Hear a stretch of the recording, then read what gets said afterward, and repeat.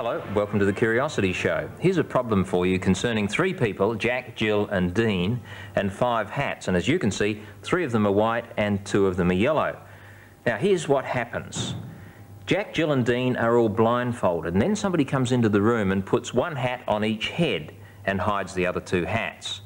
Then Jack and Jill have their blindfolds removed so that they can see the other two people but they can't see their own hat. Each of us is asked to work out what colour hat we're wearing. Well, Jack says nothing, Jill says nothing, but Deane, who's still blindfolded, is able to correctly say what colour his hat is. How could that be? Well, it's all to do with logic. I wonder if you worked it out. There are several possibilities. Here's what might have happened. Jill might have had a white hat, and Jack could have had a yellow hat, and perhaps Deane had a yellow hat too. Had that been the case, Jill would have looked at Jack and Deane and said, they have the two yellow hats, there are only two of them, mine must be white. But she didn't say anything at all.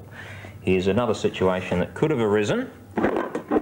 Jill could have had a white hat and Jack could have had a white hat as well. Had that been the case, Jack would have looked at Jill because he knew Deane had a yellow hat and he would have waited for her to say hers was white, which would have told him that his was yellow. But she didn't say that, so he knows that his is not yellow, not the same as Deane's, so he says his is white. But he didn't say anything either. And so my hat could not have been yellow because we would have heard from one of the other two. Only one other possibility. My hat must have been white. That's how I knew.